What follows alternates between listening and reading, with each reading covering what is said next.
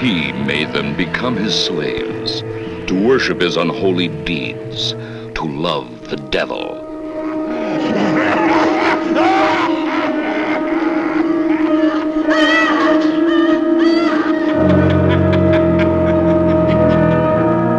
Lucifer's women.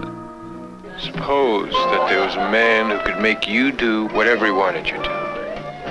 I want a life. We need a pure soul. She'll do.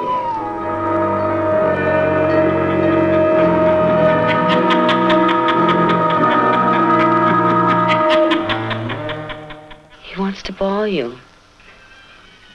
He really does. He thinks I should persuade you. One by one, they fall under his power, entranced by the Prince of Darkness and his evil world.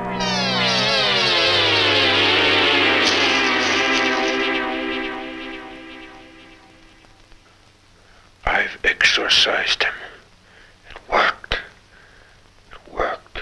I must pass on to another incarnation.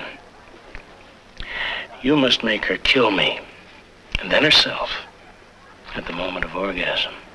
That's how it must be. Their minds controlled by an agonizing torment. Their desires must be fulfilled by the darkest satanic acts of incredible and shocking horror. Lucifer's women. You will meet those who cannot be exorcised, as they are possessed by evil and driven to unspeakable acts of wanton and hideous cruelty. You'll never forget Lucifer's women, a new dimension in exorcism and terror. Lucifer's Women from Constellation Films, rated R for adults.